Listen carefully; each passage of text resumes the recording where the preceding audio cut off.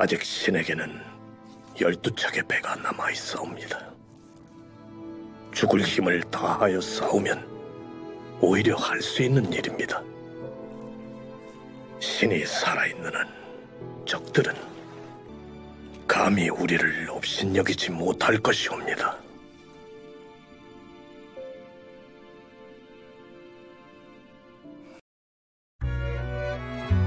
짐 로저스의 앞으로 한반도 투자 시나리오를 읽기 시작합니다. 짐 로저스는 1942년생으로 워런 버핏, 조지 소로스와 함께 세계 3대 투자자로 불린다.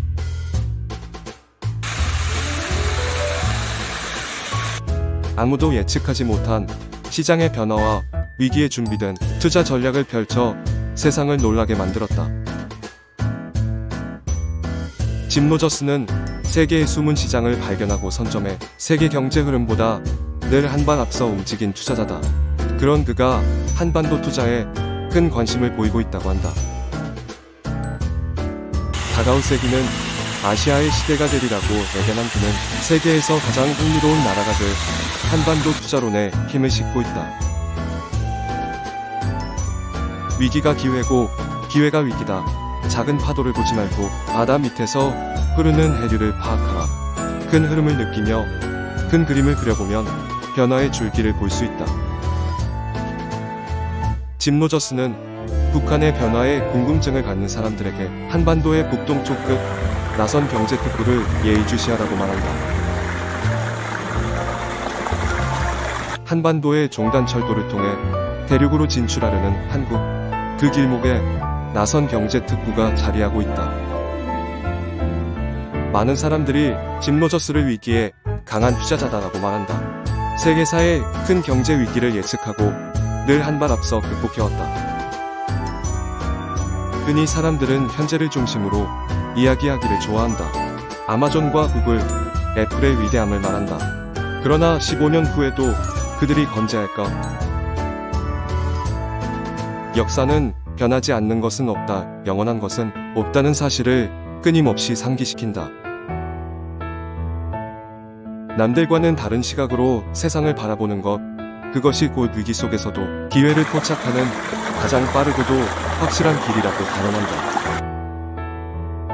누군가 내게 부가 무엇인지 묻는다면 부는 곧 자유와 같다고 말한다. 부를 쌓는 이유는 무엇보다 자유롭게 살기 위해서다.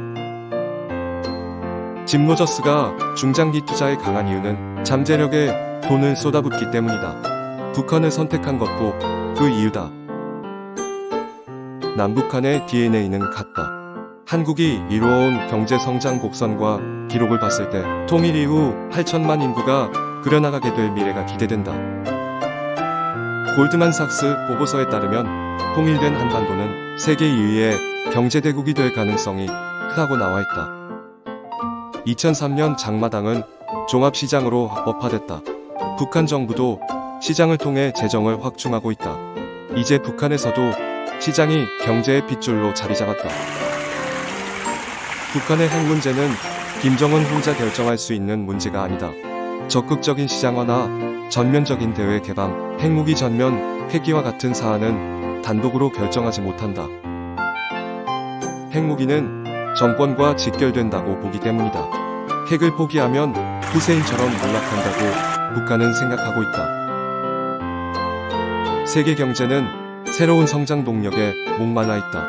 한반도를 시작으로 유라시아 대륙을 달리게 될 철도와 북극 항로의 등장, 북한 땅에 묻혀있는 풍부한 천연자원과 양질의 노동력은 충분히 매력적인 동력이 될 수 있다.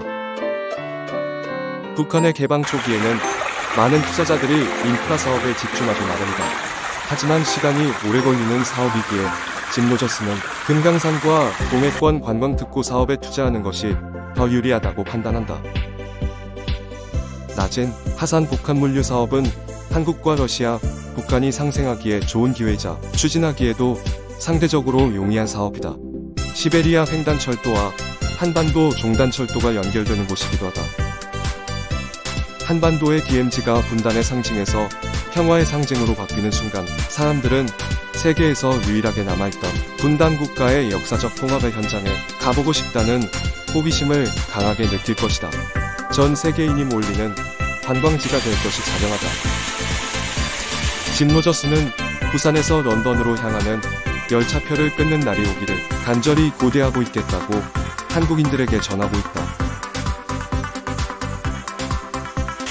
미래는 모두가 만들어가는 것이라며 한반도 통일로 새로운 투자의 길이 열리기를 기대하고 있다. 책을 읽음으로써 투자의 시야를 넓힐 수 있는 좋은 기회가 됐다. 책의 자세한 내용은 네이버 블로그 플레이스 페이스로 놓았습니다. 도움되셨다면 구독과 좋아요 눌러주세요.